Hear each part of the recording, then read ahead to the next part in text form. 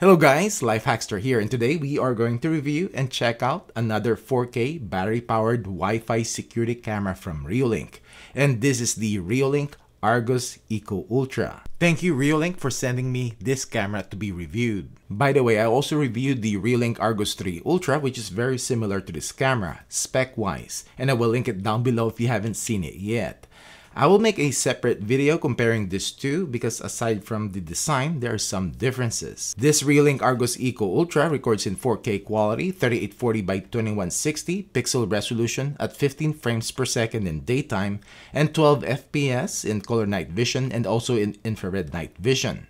It has a 125 degree diagonal field of view, 105 degree horizontal, and 55 degrees vertical. It has spotlights for color night vision, 6500 Kelvin color temperature, but Reolink didn't state the lumen output. This is battery powered and has a built-in 21.6 watt hour rechargeable battery. Battery life will be based on your use, but this can also be hooked up with a solar panel to minimize or even eliminate recharging. This camera connects directly to your Wi-Fi and is dual band 2.4 or 5 GHz and has local storage so no subscription needed and footages are stored in a separate microSD card and compatible up to a 128GB card. It has AI detection, people, vehicles, and pets.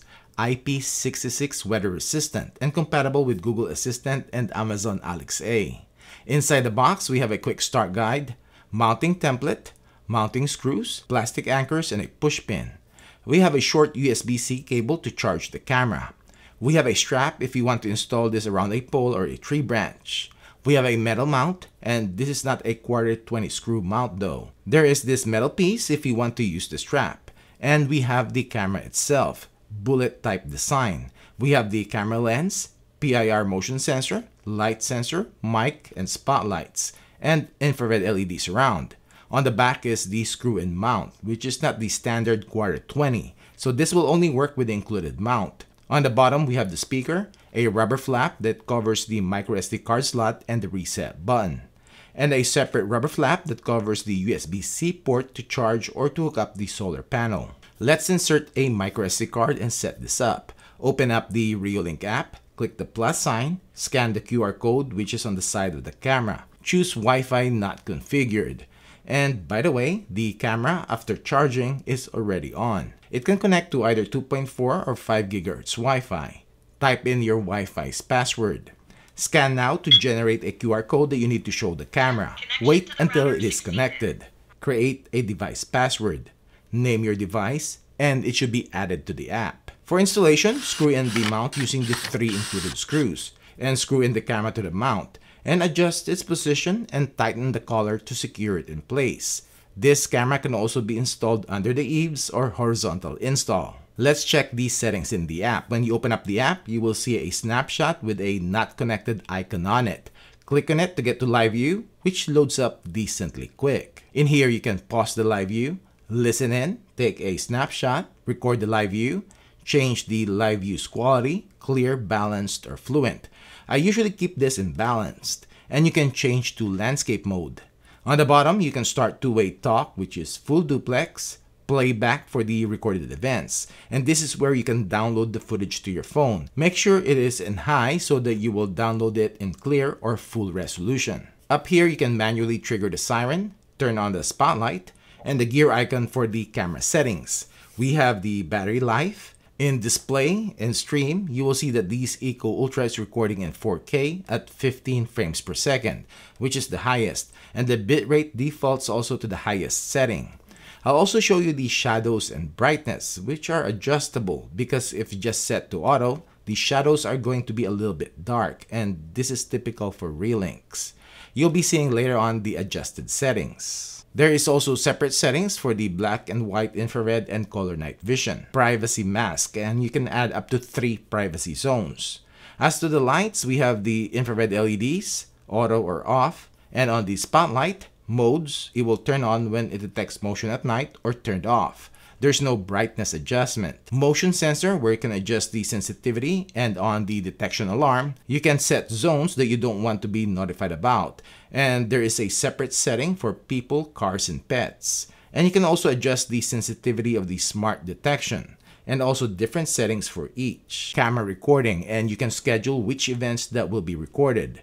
It also has the post motion record for the camera to continue to record after the motion has stopped. And on the push notifications, you can also schedule which events you want to be notified about. And this can be different from the recording settings. And this is what I like about the Reolink app. You can dial in and customize the recordings and notifications. This also has a time-lapse feature, which I also recommend to at least hook up the camera to a solar panel because this feature drains battery life. Now time to do some testing. This is the video and audio quality of the Argus Eco Ultra and video clarity test at 10 feet, 15, 20, 25, 30, 35, 40. Running my test.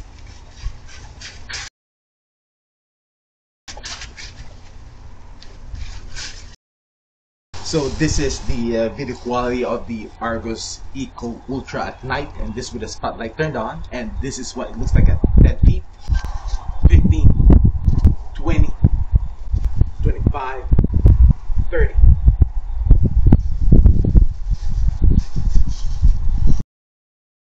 So this is the video quality of the Reolink Argus Eco Ultra at night and this has what, 8 infrared LEDs and this is what it looks like at 10 feet and spotlight is off. 15, 20, 25, 30.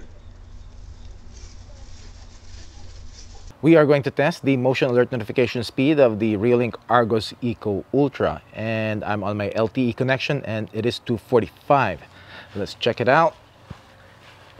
Status light is on.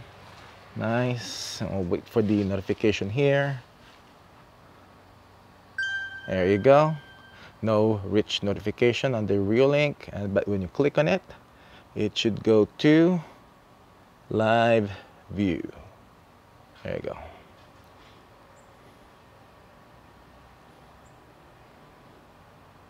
Mm, a little bit delay. All right, cool. 246. All right, so it just turned 247. It's less than a minute, well, around 30 seconds. So let's see what the notification cool off status light is on so I should be getting a notification here. There you go just like that. We are going to test the maximum detection distance of the Reolink Argus Eco Ultra and I've set the uh, PIR sensor sensitivity to the highest and also uh, person detection only and I've set that to 100 or to the highest. 40 feet not at 40 feet. Let's go 35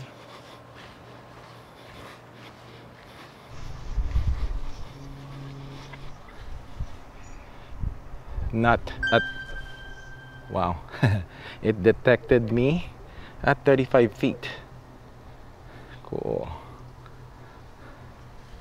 We'll see the recording. See the live view right here. Yep right here in the shed. All right so this time we're gonna see how soon the argus eco ultra is gonna start recording when motion is going towards it. So the light is on. I can see that. Let's see how soon it did Oh, cool. We'll see on the recording. This is the audio quality coming out from the Reolink Argus Eco Ultra. This is the audio quality coming out from the Reolink Argus Eco Ultra.